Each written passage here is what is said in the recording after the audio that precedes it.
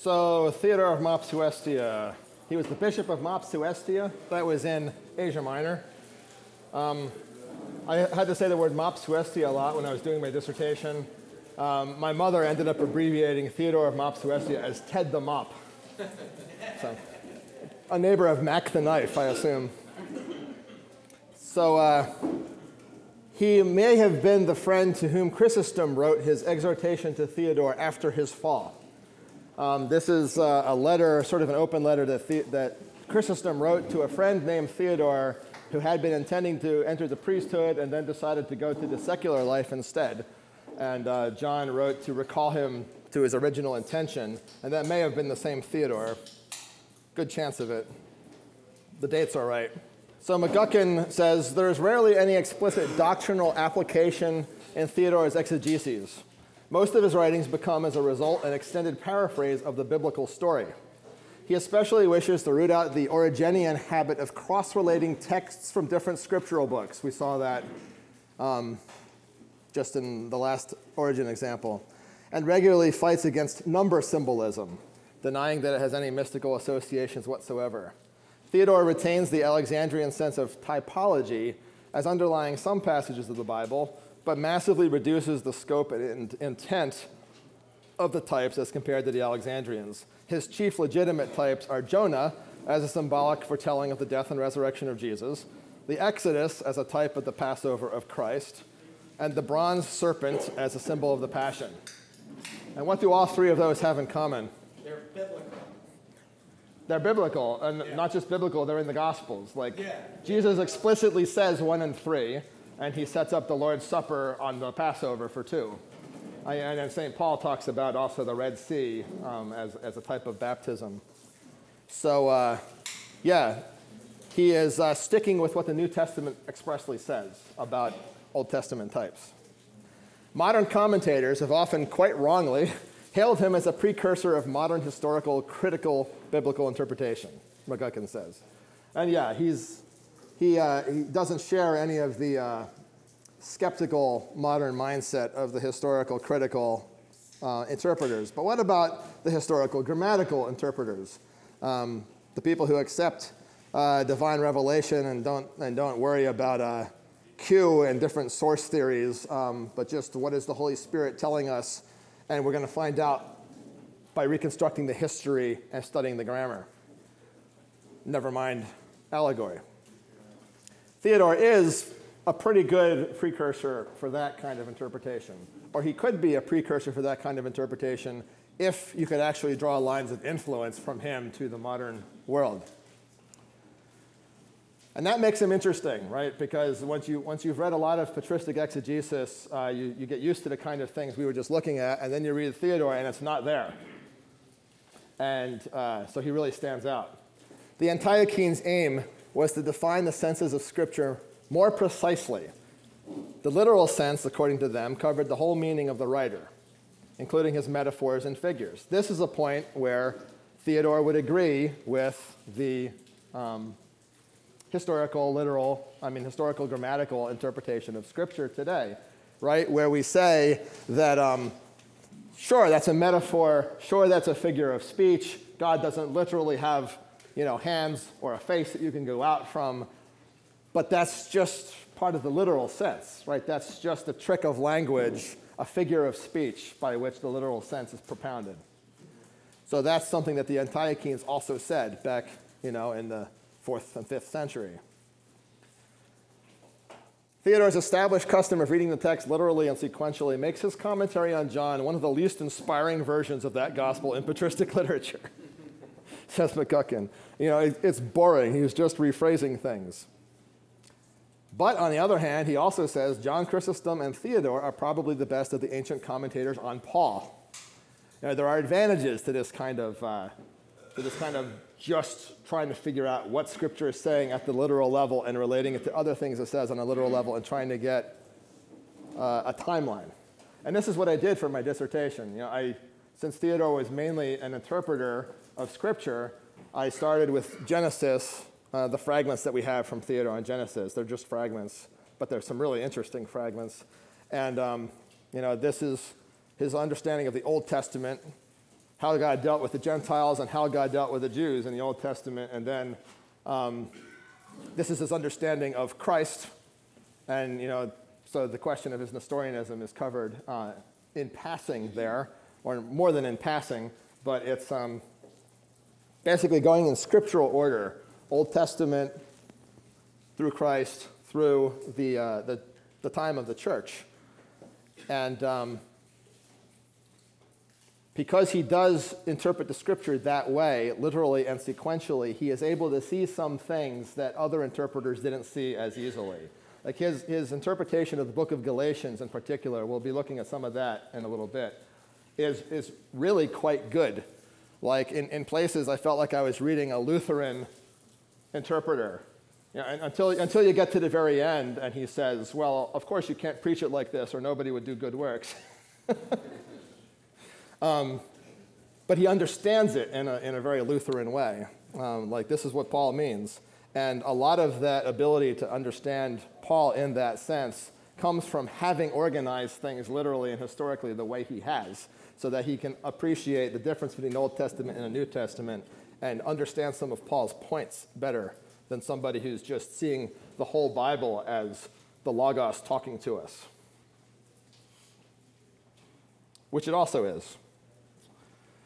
So, Theodore's criticism of allegory, and this comes from his commentary on Galatians because Galatians chapter 4 is where St. Paul makes an allegory, right? The allegory of Hagar and Sarah.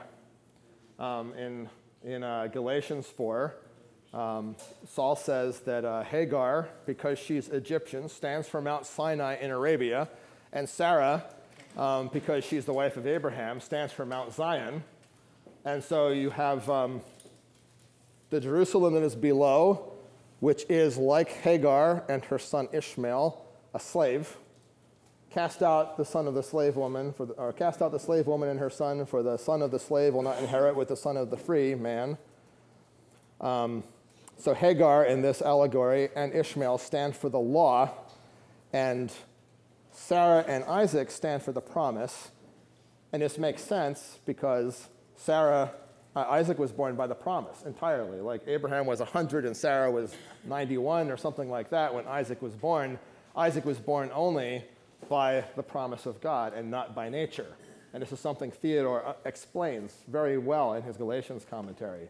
That's why Isaac stands for this. He is the son of the promise because that's the only way he was born.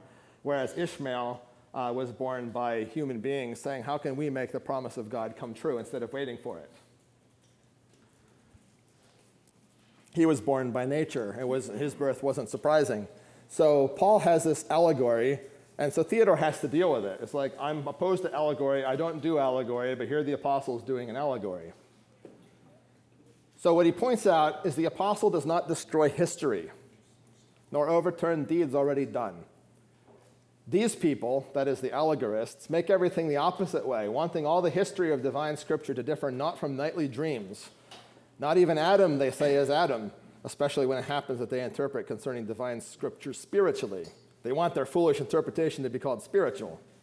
Nor do they say that paradise is paradise, nor that the serpent is a serpent. I have been wanting to tell them this, that by usurping history, they have come to have no history anymore. And this having been done, let them say whence they have the ability to assert who the first man was, or how he came to be disobedient, or how the sentence of death was introduced. And if indeed they have learned these things from the scriptures, Necessarily, that which is said by them to be allegory is obvious foolishness because it's proven to be superfluous in every way. That what he's saying so far is um, he is pointing out that Paul is basing all these things on actual history and is not calling into question whether the history happened.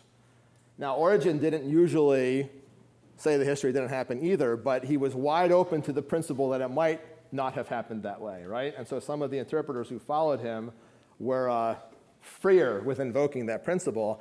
And we notice the examples that Theodore uses here do have to do with the first couple chapters of Genesis, uh, where Origen was freer about saying this is purely an allegory. You know, like the waters that cover the earth at the beginning of, the, of chapter one, you know, the waters that cover the earth are unformed matter. You know, it's not actually water, it's unformed matter that God then supplies form for in a Platonic sort of understanding. So, um, this is what Theodore especially objects to when allegory takes the place of history. And this kind of has become the classic difference between allegory and typology. Like typology is something actually happened in history, and then it also has this application to the future, whereas allegory is um, maybe it didn't happen in history. It doesn't really matter. It's a figurative story to tell you something else. And then he says here uh, if they have learned these things from the scriptures, that is, that Adam was the first man and that the, Adam and Eve fell uh, to the serpent, then whatever they're saying by allegory, like, does it matter? It's just superfluous. And this is a problem we'll, we'll, that we'll get to talk about about allegory. You know, does allegory add anything? But if this is true, and the things written do not retain a narrative of things actually done, but indicate some other thing that's deep and that ought to be understood or is spiritual, as they want to say, and which they have discovered, obviously, because they are themselves spiritual folk. From whence then have they received their understanding? How do they say these things, speaking as though they'd been taught thus by the scripture?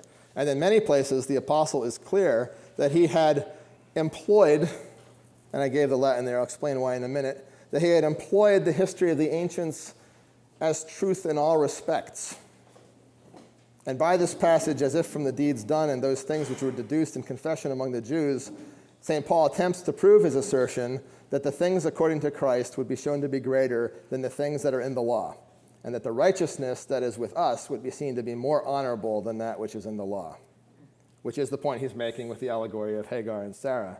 Um, that the Jerusalem which is below is Israel that has rejected Christ in bondage with its children, and the church is the Jerusalem which is above um, the, the son of promise. So he says, um, this is Latin because this has survived in Latin. Interesting thing about Theodore's uh, commentary on the minor epistles of Paul, the way they survived, despite the fact that Theodore had been condemned, they survived in a Latin translation ascribed to Ambrose. so modern scholars have been able to prove by comparing the Latin entire document to fragments we have that we know are Theodore, that this is actually a translation of Theodore. So you hear Ambrosiaster talked about sometimes. Ambrosiaster is a false Ambrose from the same document, basically, as this that, that survived Theodore. Theodore was one of the Ambrosiasters. Um, so uh, when it says that the Apostle Paul employed the history of the ancients, employed, I'm not happy with my translation there. Um, it's he abused the history of the ancients. He misused the history of the ancients. And this is the word he uses, okay? Utor to use, abutor to abuse. Um, and this is the word he normally uses for like allegor- allegorizers. You know, you're not using that, you're abusing it. But here he uses the word for St. Paul, and he doesn't mean that St. Paul is doing anything illegitimate, right? He says, uh, first, Paul is doing it, and he's doing it in such a way that he, uh, that he still doesn't call into question the Old Testament record, whether it's true or not, but he still calls it to abuse it. Paul's taking it out of its normal sense and applying it in a weird way to something else. And, he, and he, that's perfectly okay if the apostle wants to do this, but it's not uh, the natural meaning. This is the apostle being creative.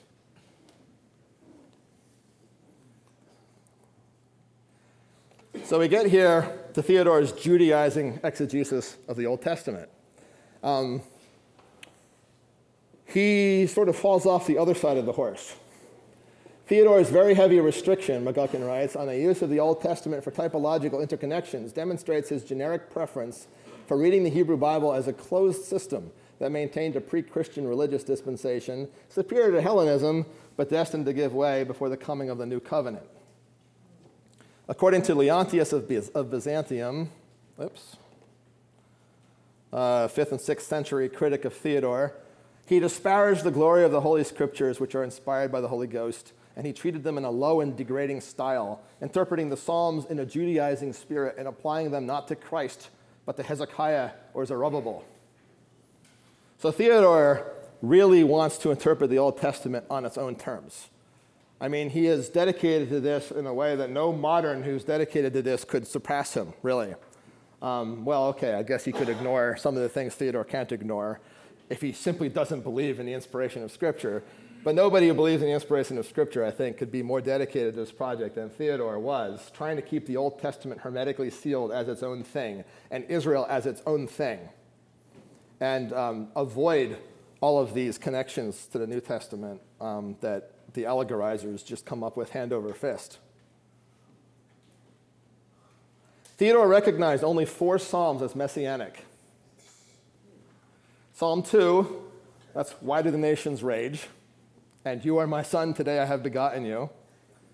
Psalm 8, O Lord, our Lord, how majestic is your name in all the earth, and you made him a little lower than the angels. Psalm 45, my heart overflows with a pleasing theme. And your throne, O God, is forever and ever. God, your God, has anointed you with the oil of gladness beyond your companions. And then Psalm 110, the Lord said to my Lord, which Jesus himself applies to himself, right, in the New Testament. Psalm 22. What's that? But not Psalm 22. Oh, Lord, oh, We're, we're about to deal with that, yeah. Um, so, what do, all, what do these four have in common? References in the New The Testament. Speaking. References in the New Testament, we can make it even more narrow than that. They're all cited as proof of Christ's divinity in Hebrews chapter 1. Yeah. So these he can't get around. Like the New Testament itself makes the connection so tight that he's like, okay, those are messianic psalms.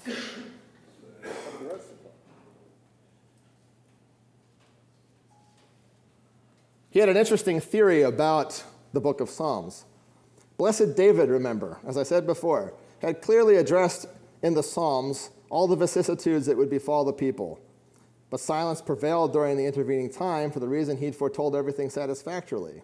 The time came, however, for the ten tribes to begin their suffering. What had long been foretold by blessed David about the disasters that would befall the people, divine grace communicated to the prophets when the events were close at hand. Okay, I think I left something out of that quote that would have made it make more sense. But this is from one of his commentaries on the minor prophets. He's saying the minor prophets, um, they pick up again things that David prophesied in the Psalms because now they're about to happen. Like for centuries, nobody has addressed these things, but now they're about to happen. And so God sends the prophets, the minor prophets, to say, All right, Israel, this is about to happen to you. He's, his, his idea of the Psalms was that the whole book was written by David. And this is an idea he shared with, uh, with Augustine and with, uh, I, don't know, I don't know about Origen, but it was a widespread idea in, in the early church that David wrote the entire book of Psalms. Um, so then, what do you do with some of the inscriptions? Um, this is going to be the, the second part of the presentation. What do, you, what do you do with some of the psalm inscriptions that say that this was one of the psalms of the sons of Korah, right? Or that this psalm happened, um, this was a psalm of Solomon, or this was a psalm of Moses, um, yeah, or Asaph, or this is a psalm that happened when, you know, something that didn't happen in David's life happened. He said, well, since David was a prophet, David, um, in, those, in those instances, he put himself into that character from the future and spoke as if he were that character in the future. And um, spoke about a future time and wove that into his psalm. And so the Psalms he actually read as uh, prophetic of three major deliverances of Egypt, or th- three major deliverances of Israel, not the one from Egypt because the book of Psalms was composed after that had already happened, but the deliverance from the Assyrians under Hezekiah, uh, when the angel of the Lord struck dead that huge Assyrian army that was about to flatten Jerusalem the way they had already taken the northern tribes away. The return from Babylon after the captivity, and then the success of Israel in defending their religion and their state against the uh, Macedonians in the, Maccabo- the Maccabean revolt. So he said these three things, and the last one being even later than the you know, Old Testament, unless you're going by the Septuagint, the Septuagintal Old Testament and including the intertestamental books, that is the whole history of Israel basically comprehended in the Psalms already. And um, It's an interesting idea. We'll talk about that a little bit more. So, you already asked this. What about Psalm 22? Um, like, that's not, that's not a messianic psalm. My God, my God, why have you forsaken me? He says, Those who want this psalm to be in the persona of the Lord, so in the persona of, that's how he talks about it when David puts himself in the character of a person from the future. David, David is saying it, but he's saying it in the persona of Hezekiah, or he's saying it in the persona of Jesus, people claim here, but they in this place run into no small rashness. How indeed can it be accepted that the Lord said this about himself? Because remember, it's got to be the whole psalm. If David is speaking in persona of Christ, it's got to be the whole psalm. How can the Lord say he is far from my salvation and the rest? Um, you know, the, part of that psalm seems to be the lament of a sinner. And so he says, no, that can't apply to Jesus. Indeed, it is established that placed on the cross at the time of his passion, he said, My God, my God, look on me, and the rest. But this saying does not in any way indicate that this psalm pertains to him. Nor indeed did Jesus use this testimony as if something said previously through prophecy was then being fulfilled by events. He said it because he had received suffering, beatings, blows, nails, and a gibbet. Consequently, he made use of this cry, which is as fitting that all the pious should utter when they suffer something of this sort. Jesus was making a literary allusion. One, one of many who uh, Yeah. suffers in such a way. Right. Um, like any, any uh, righteous man suffering unjustly could say, My God, my God, why have you forsaken me? And he'd be doing the same thing Jesus was doing there. Well, not exactly the same thing. Um, you know, I think, I think Theodore would recognize that Jesus is saying this in a more absolute way than anybody else can, right? And that's one of the interesting things about this. Um, you know, I think Theodore is stretching to a ridiculous extent when he denies that it's a messianic psalm, but I, you still get something good out of it, right? That Jesus actually is quoting a psalm. Like, even if the psalm was written specifically about him, Jesus still makes a decision to quote it. You know, why is he quoting it? What's he teaching us when he quotes it? And I think one of the things he's teaching us is yeah, David said this, but you could answer David, David, you're a sinner. You know, this is happening because you're a sinner. When Jesus says that he's unanswerable, my God, my God, why have you forsaken me? There is no answer to that at all. There's no, justice has no answer to that. And then you realize, well, whoever it was about originally, it really belongs to Jesus. Yes. I just an observation. It sounds like when you box yourself into a certain, he was boxed. He had boxed himself in as far as his thinking of the Old Testament was a closed. Yeah. And when you box, when you box yourself, certain people say, too. Yeah. I think I think with uh, with Origen to an extent, but with Theodore more, because Origen is, is Origen is dedicated to a theory that allows him so much freedom. And Theodore is dedicated to a theory that's that tries to restrict the freedom. Um, so it's more obvious with Theodore that yeah he's um, over dedicated to a theory, like a theory that he has to make all kinds of exceptions to, but he's still not willing to let go. of. Yeah.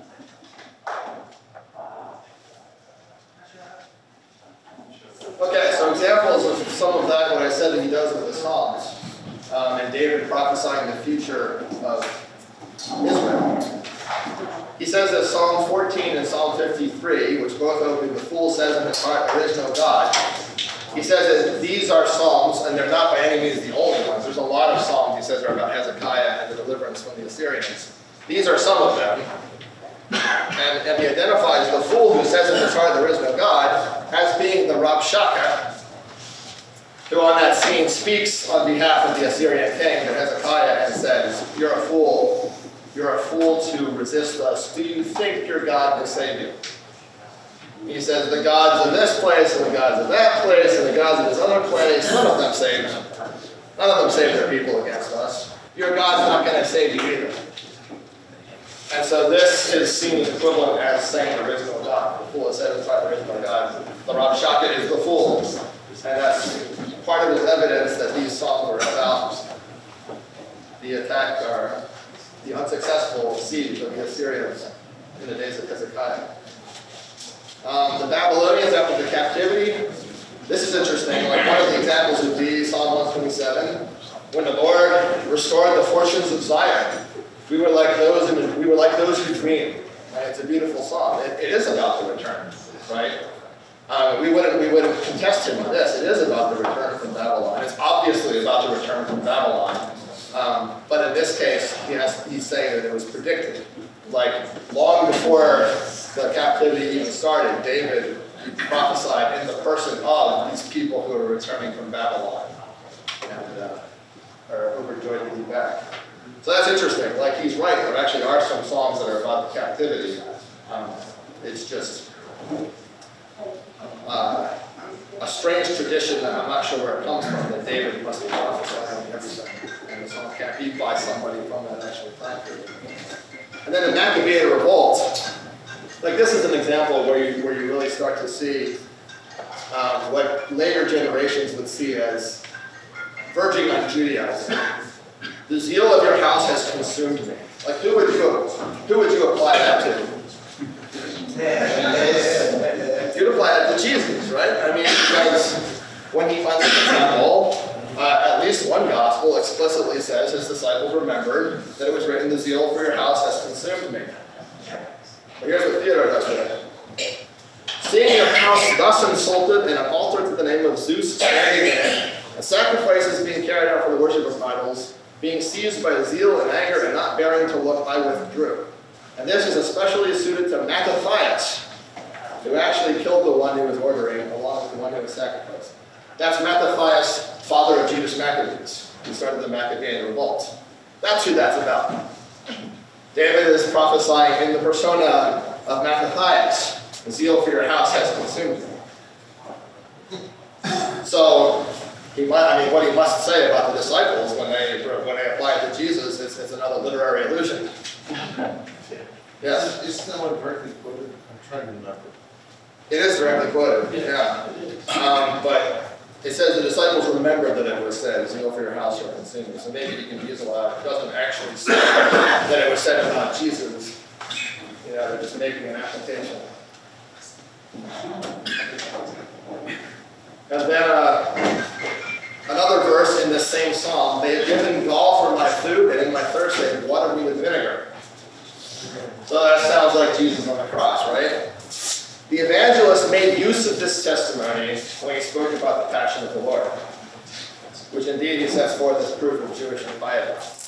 It was not published in the time, or maybe he means about the time of the Lord's passion, but was predicted a very long time before by the divine scriptures. Therefore, it is proven to have been adapted more to similar things than to the personal affairs of specific individuals. I'm not sure how he thinks he's proven it, but he certainly asserting that this is not a prophecy of Jesus on the cross, but rather later on, people saw the connection and made the, and made the, the connection.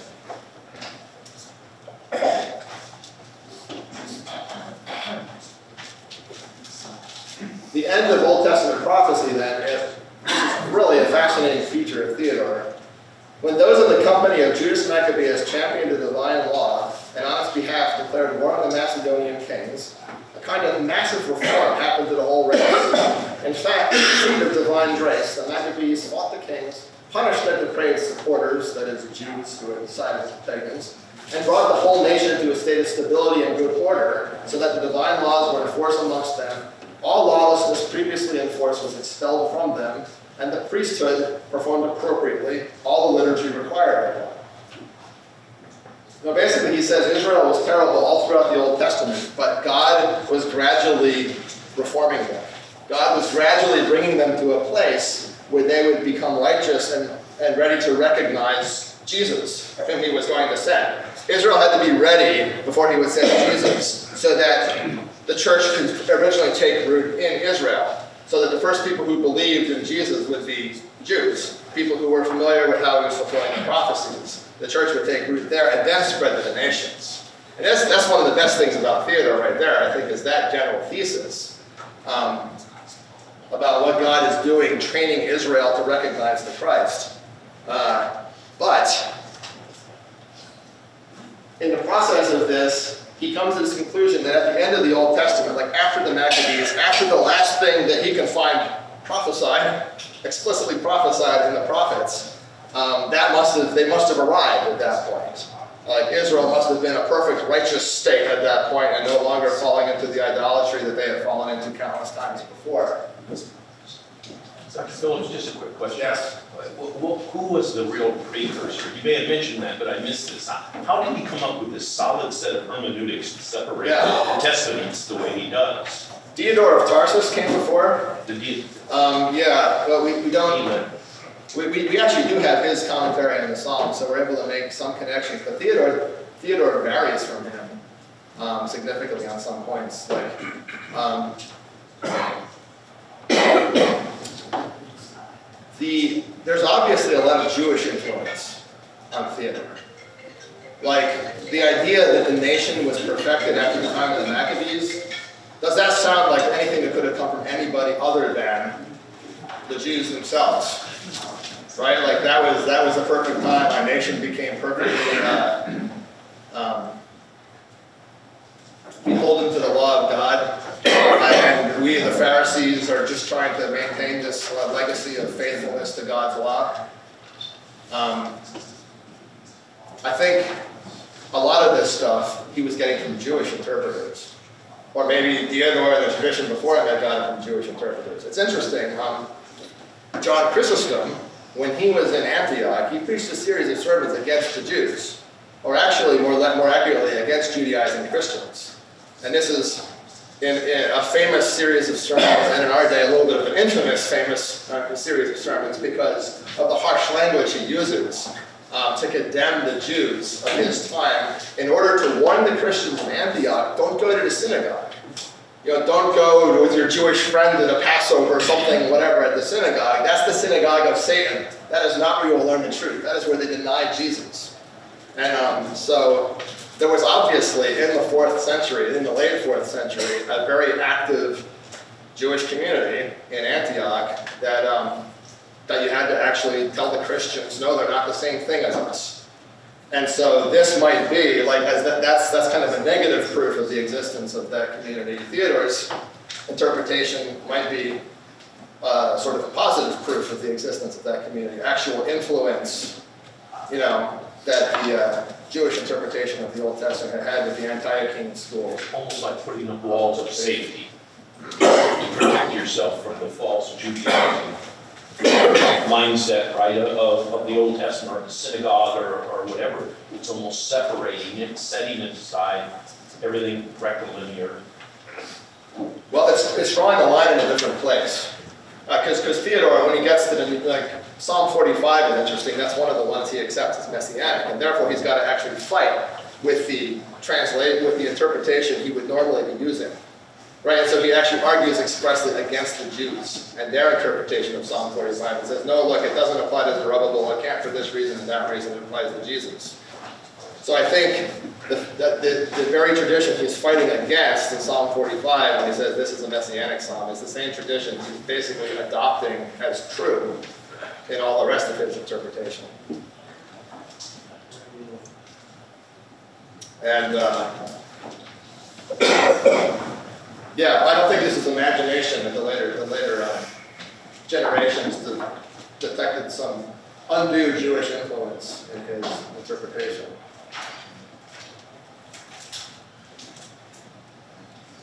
From the commentary on Zephaniah, he is paraphrasing a passage, uh, Zephaniah 3, 8 to 9.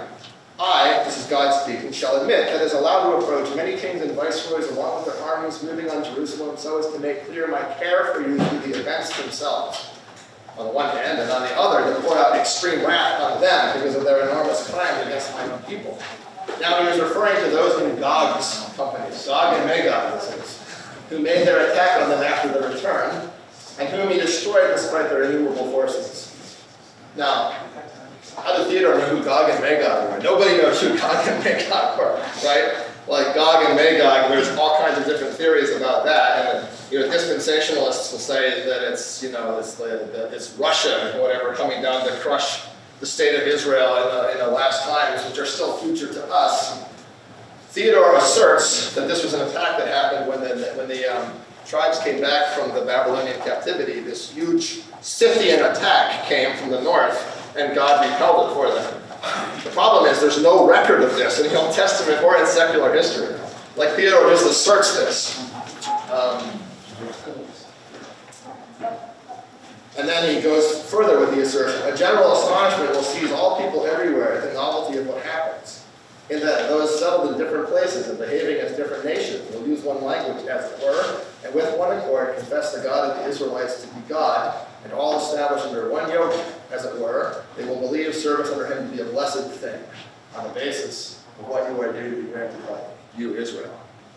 So this is how he treats all of the prophetic passages that talk about the Gentiles coming and worshiping at Jerusalem. Right? You know, um, a multitude of camels shall cover you. Uh, the, uh, the, the Gentiles coming to pay homage in Jerusalem. There are multiple passages like this in the minor prophets. And um, everybody else in the early church takes this to be prophecy of the church. The Gentiles will come into Israel right? The Gentiles will believe in the God of Israel through Jesus Christ, and that fulfills this prophecy. And um, you know, some of these prophecies are predictions of the exiles returning. The exiles are going to return to the land, and they're going to bring with them the Gentiles. Well, that's you know Jews and Gentiles from all over the place believing in the God of Israel for the first time because the church is spread to all the world. But he doesn't interpret it that way. So he has to assert that there was this Pax Judaica there was this Pax Judaica at the end of the Old Testament where um, it was very common for the Gentile nations to uh, actually worship at Jerusalem and, and recognize the God of Israel.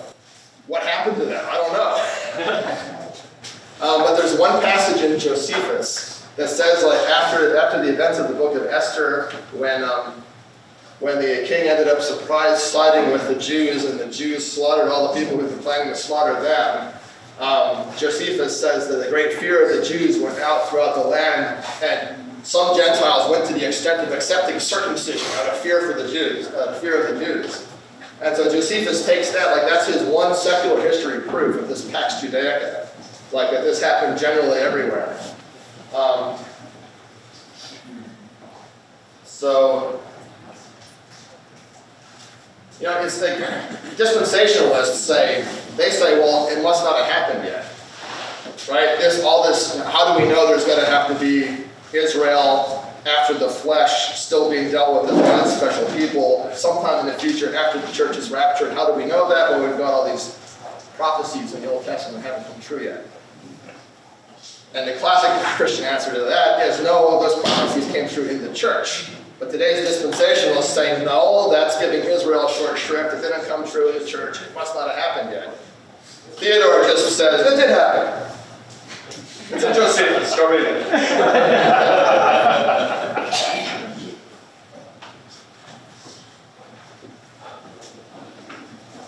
okay, so I think this is basically what I just said. I just want to, I love this quote at the end. Robert Hill, who translated the minor prophets commentaries and did a lot of other anti stuff recently. He says, in Theodore's, in Theodore's view, toe historic that is the historical sense or historical interpretation, required an insistence on historicity, not evidence of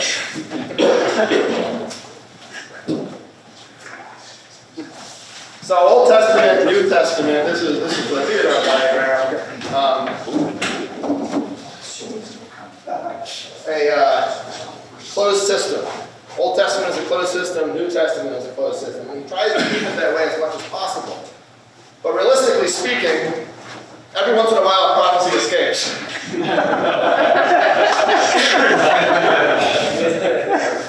um, like most of what the prophets say, it's got horizon of the Old Testament. Like they can't get any further into the future than the Pax Judaica. Um, but the New Testament uh, doesn't let him be consistent with this. Every once in a while, it actually is a messianic psalm. And um, he also ends up allowing for some double fulfillment sometimes. So like this first Sunday of Advent, right? Rejoice exceedingly, daughter Zion, Proclaim, daughter Jerusalem, lo, your king comes to you, righteous and saving, humble, and riding on a beast of burden and colt. I shall wipe out chariots from Ephraim and a horse from Jerusalem, and a battle bow will be destroyed, a multitude and peace from nations.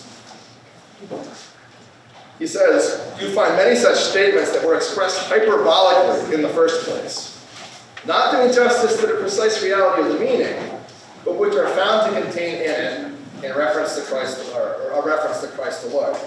Of such a kind as this one too. While he referred to Zerubbabel, like this prophecy is really about Zerubbabel, uh, the leader of the Jews when they came back from captivity in Babylon, by right of succession to David by God's will, the contents were seen to contain their irrefutable reality. He could speak more clearly here. In the case of Christ the Lord. So this is a prophecy originally about Zerubbabel, but I mean, really, it's kind of overdone for Zerubbabel. It really fits Christ better. You know, because after Zerubbabel comes back, like it's not really true that all the chariots are wiped out from Ephraim and there are no more war horses in Jerusalem and no more battle bows. It's like they got attacked by Gog and Magog shortly after, right? um, so uh, it can't really apply. It actually applies to Jesus better than it applies to Jeroboam. But he still has to say it was prophesied about Jeroboam. How does that work? We don't know. It's one of those escapes. Um, yeah, to the former, that is to Zerubbabel, belonged the brief punishment of the nation and the paltry saving of his own people. The true expression emerged, however, in Christ the Lord, in whom there is the real possibility for lasting and enduring joy. In this case, then, there's a reference to Zerubbabel when the expression is assessed by that to which the text immediately refers, whereas in the Gospels, the sense has moved on to Christ the Lord. So he does end up agreeing to some double fulfillment. Uh, this is another example. Before the day of the Lord, the land will be troubled, and heaven shaken, the sun and moon will be darkened, and the stars will lose their light. Theodore says Joel's talking about the destruction that the Assyrians and the Babylonians are going to wreak on Israel and Judah. Um, but he, again says that he's speaking by hyperbole. Um, uh, when he starts to talk about the stars and the moon being darkened, like that's just, well, you're going to suffer so much, it's going to seem to you that the moon is dark and that the stars are falling. But that is literally actually going to happen at the end of the world, so it applies there better than it applies here, even though it's really a prophecy about the woes of Israel in the Old Testament.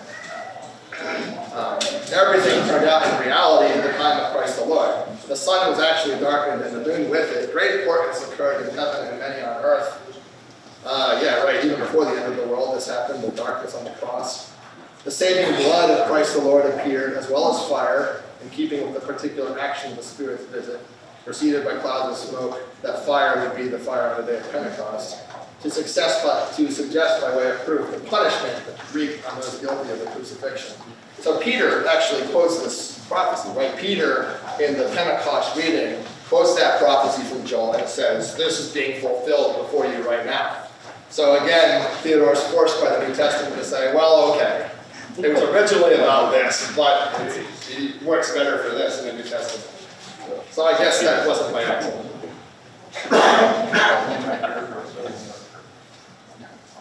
So would Theodore conclude that uh, the crucifixion was something that leaked over from Genesis 3.15? Um, good question. I don't know if I, I don't know if we have that fragment in Genesis.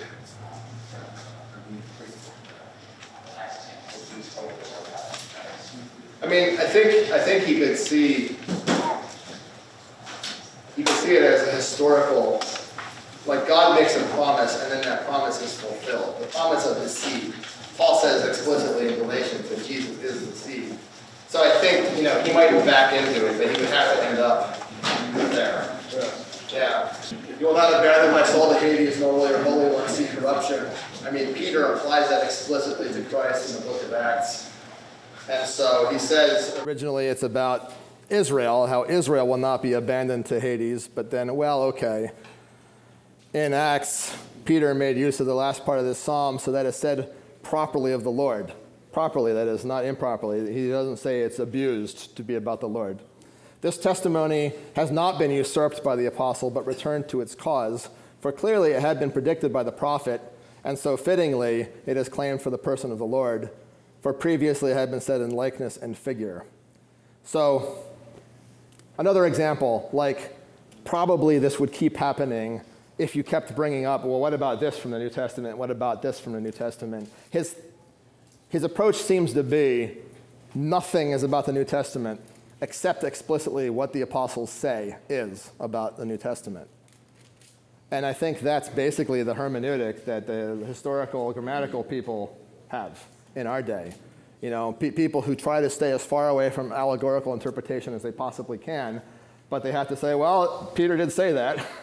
Peter did say it was fulfilled here, but I'm not going one inch further than what is explicitly used by the apostles in this way. So there, there's uh, on the bottom, there's one escaping. on the top, that's an actual like direct rectilinear prophecy, and on the bottom, that's one of these things that get reapplied in a better way. So I want to link this because um, I think the link is totally organic. Um, Theodore has a, uh, as a governing principle in his theology, the, the theology, the doctrine of the two ages. That is, um, the world happens in two ages. God makes a mortal world capable of falling into sin. He knows it's going to fall into sin, so he provides things in advance, um, like uh, procreation, so that the, the men who are going to die don't all die. Um, he creates this world and then he sends Christ to create a new world. And um, those are the two worlds. And one corresponds to the Old Testament, and the other corresponds to the New Testament. And I think this is one reason, besides his opposition to Origen, this is the other reason, the positive reason, why he tries to keep the Old Testament hermetically sealed. Because that is, that is the old world, and the New Testament is about the new world uh, the new age, how Christ comes and everything changes.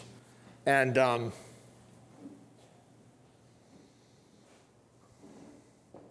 the way he talks, and this is one of the things that makes him really good, actually, in, in the book of Galatians. Uh, the way he talks about the Christian life, he talks about it as if it doesn't even happen in the present. Like, it, it, he talks about it as if it happens in the future. Like, all the things that Christians ought to do all Christian morality comes down not to thus says the law, but what will it be like in the resurrection? If I were living the life of the resurrection right now, what would I do? Because that's what's been promised to me. What's been promised to me is a life where I will be incorruptible, where I will never fall into sin again. I'm never even going to be tempted. I'm going to be like Jesus. Um, Christian morality is living in the future now. Um, and yeah, you know, you, you, you, can look at the law and the thou shalt not, and that can curb you if all else fails. But the real New Testament motivation is I'm going to be, I'm going to be raised one day, and what will I be like then? I'm, i want to be that now. So, like, we're, the, our status really right now is very technically in Theodore, like, we're between two worlds. Um, like, in our flesh, we're still the old world, but through baptism, we are the new world. And this is actually a really good thing and uh, element of Theodore's theology that I found very useful in my own understanding and you know, ability to explain things about the Christian faith. And I think that that's one reason why he tries to keep the Old Testament so locked up, because he's doing an overlay there. Yes? That's really, is there a significance to the crucifixion touching the old age, or that's just a graphic? that's just a graphic. That is just, that just happened. Sometimes things just happen. I do not claim Holy Spirit authorship for my uh, presentation, and therefore it, can, it cannot be the secret plan of God. Or I, I could be, but I wouldn't know. All right, so that's, I'm done with that. Uh, we have like one minute for questions before noon.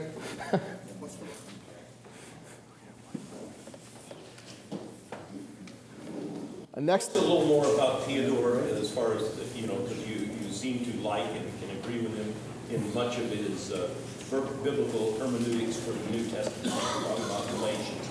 Uh, Can you add any distinction on- in regards to any antinomianism in him, or what's his law gospel dialect, where, where is he? his only problem in Galatians is he gets to the end and says, We can't preach this. right? He Because there's nothing behind Uh, get done. Right. He has a reason behind that, because he doesn't, well, he, he's thinking that the law still must guide morality, rather than simply the gospel changing and creating a spontaneity of faith. Oh, I see what you're saying. Um, well, the law still tells you what is true and what is right. Right, and if you're setting aside the law and saying, well, I'm going to go ahead and do that, then you're wrong. Um, but the enlightened reason to, to, to be good is to be like Jesus is going to make you. Um, you know, basically, if, if somebody has to point out to the law and say, look, Jesus is not going to make you like that, you know, Jesus is not going to make you homosexual in the, in the resurrection. Well, how do you know? Well, look, they're in the law. It's, it's evil. It's wrong, you know, and but if you've, but if you've got to get to that point where you're pointing to the law, then you've already missed the boat on what Christian morality is supposed to be.